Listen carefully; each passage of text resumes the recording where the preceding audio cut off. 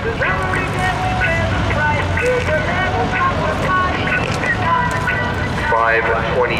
Dan Carr now for the first time today for the midnight runners, That is 242, Ricky Corbiella.